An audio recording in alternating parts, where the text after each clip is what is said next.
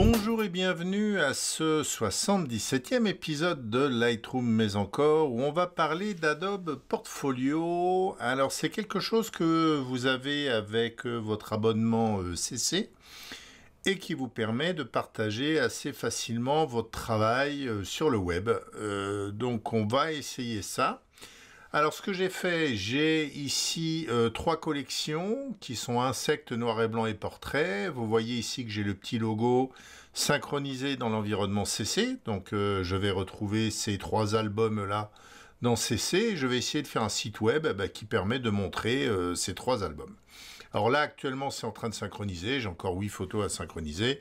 Mais le temps que je me mette en route euh, pour la suite, ça devrait avoir terminé. Alors regardez bien l'épisode 75 et 76 pour comprendre comment on échange les photos de classique vers CC, de CC vers classique ça sera un peu plus simple pour vous. Eh bien écoutez, on se retrouve dans Adobe Portfolio.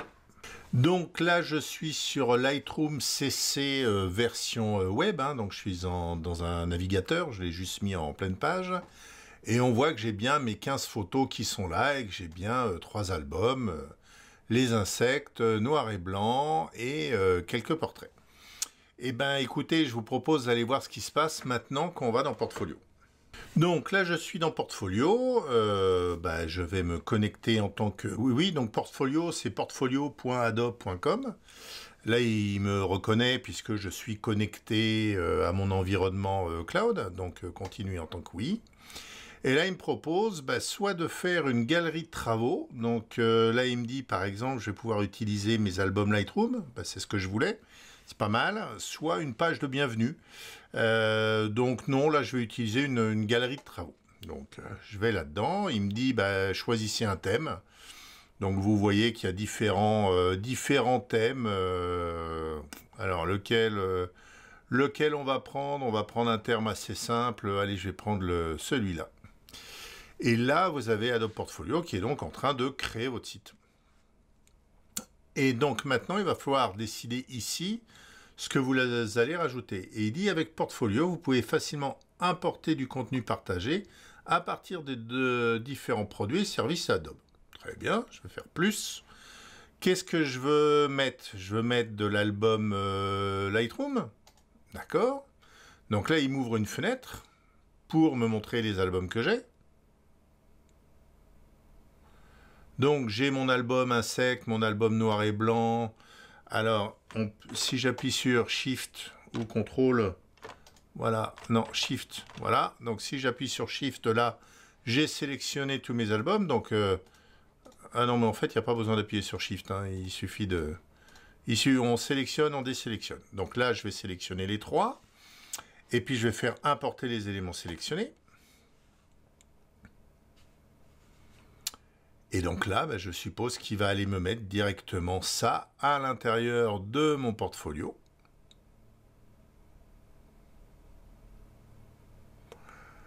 Voilà, donc il m'a mis, euh, mis mes trois trucs. Donc euh, j'ai euh, ma page work, j'ai ensuite ici trois pages noir et blanc à sec portrait et ma page contact. Éventuellement, je peux, si je veux pas contact, vous voyez, je supprime contact si je supprime work, euh, ça ne va pas, puisque c'est la page par défaut. D'accord? Donc là, il n'est pas d'accord. Mais je peux, par exemple, supprimer noir et blanc, ou supprimer insecte. Voilà, donc je peux faire un peu comme je veux. Donc ça, ça me va euh, pas mal. Ensuite, vous voyez qu'on peut éditer, quand vous mettez là euh, sur le truc, on peut ici personnaliser ou gérer le contenu. Donc personnaliser ici le titre de page, ou pas. Alors attendez, c'est pas ça que je voulais faire. Moi, ce que je voulais, c'était ici renommer cette page. Alors, est-ce qu'on peut renommer cette page? J'ai pas l'impression qu'on puisse vraiment la renommer. Ou alors en double cliquant dessus. Bon, je vais pas passer gérer le contenu. Peut-être ici modifier le titre de la galerie. Voilà, ici on peut on peut changer des choses ici, donc plutôt que ça soit work, je peux dire euh, mes photos, voilà. Très bien, et là il m'a mis mes photos. Donc il faut tâtonner un peu, c'est la première fois que je l'utilise, hein, euh, très honnêtement. Alors j'ai vu ici qu'on pouvait dans, dans, les réglages, on peut au niveau de la page d'accueil décider ce qui se passe si une page est introuvable.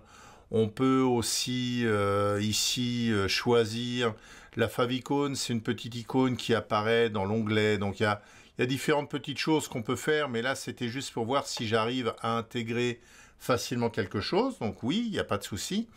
Et maintenant je vais faire ben, euh, publier le site, puisque j'ai terminé. Donc je publie le site. Alors, veuillez patienter, nous mettons à jour votre site, d'accord. Donc, euh, trois nouveaux projets, portraits, Insectes noir et blanc, est-ce que je veux les partager sur Behance euh, Non merci. Je ne sais pas encore ce que c'est Behance, il faudrait que j'aille voir, donc je vais faire non merci. Et euh, publier le site. Et là, normalement, voilà, il m'a publié mon site, mais mon site, ici, votre portfolio est en ligne, et voilà l'adresse du site où j'ai partagé mes différentes images. Donc voilà, ça c'est mon site. Vous voyez, c'est relativement, euh, relativement simple. Je peux aller euh, dans noir et blanc. Je verrai les différentes images noir et blanc. Si je clique sur une des images, bah, je zoome, hein, euh, tout simplement. Je peux ici, j'ai une flèche droite-gauche. Voilà, je peux me promener comme ça et je peux fermer ici. Et euh, de là, si je veux revenir, je reviens à mes photos. Euh, je peux regarder mes portraits. Donc vous voyez, c'est vraiment très très simple. Mais d'un autre côté, c'est ce qu'on lui demande. C'est on lui demande de présenter très rapidement des photos. Alors, euh, on va faire un petit résumé de tout ça. On va revenir dans Lightroom.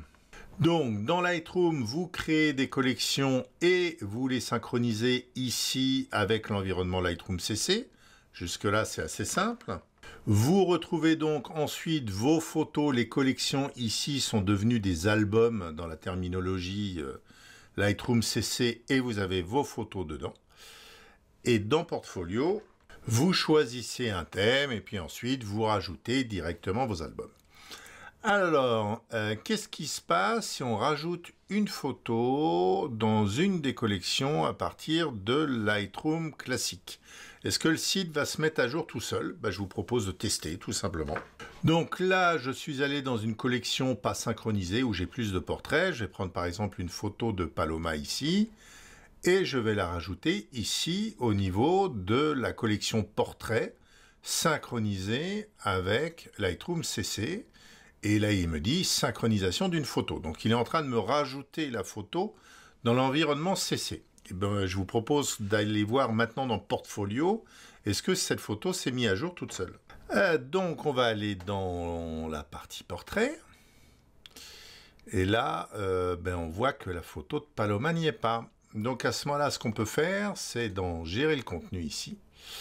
Et ici, c'est au niveau des portraits. Là, vous ouvrez le truc et vous avez un beau truc qui vous fait réinitialiser à partir de Lightroom. Et donc là, réinitialiser à partir d'Adobe Lightroom, oui. Réinitialisation de la page en cours. Et en fait, ce qu'il fait, c'est qu'il va prendre les photos, mettre à jour en fonction. Votre page a été réinitialisée, revenir à l'éditeur. Voilà, il la recharge. Et maintenant, vous voyez que j'ai Paloma qui est apparu ici. Donc, vous voyez, c'est relativement simple. Alors, c'est dommage que ça ne se fasse pas automatiquement, qu'il faille revenir dans Adobe Portfolio. Peut-être qu'il y aura une option euh, par la suite, mais euh, voilà, vous pouvez comme ça montrer. Alors, ensuite, je fais mettre à jour le site. Voilà, et euh, mon site va être mis à jour. Et maintenant, si je vais voir mon site ici, et que je vais dans Portrait, eh ben, je trouve la photo de Paloma que j'avais rajoutée. D'accord? Donc, c'est vraiment, c'est vraiment très simple pour montrer euh, ces photos. Et c'est, je dois avouer que c'est assez euh, efficace. Alors ensuite, qu'est-ce qu'on peut faire? Revenons dans Portfolio. Alors ensuite, vous pouvez faire plein de choses. Chaque fois que vous avez ici un petit, un petit crayon, il suffit de cliquer dessus et euh, vous pouvez personnaliser différentes choses, voir ou pas le titre de la page, la description de la page. Vous pouvez choisir la largeur, une largeur maximale, est-ce que ça va aller aligné au centre, en bas. Bref, vous pouvez faire à chaque fois euh, pas mal de trucs. Si vous revenez, euh, par exemple, à la, à la page, la page d'avant, revenir à l'accueil.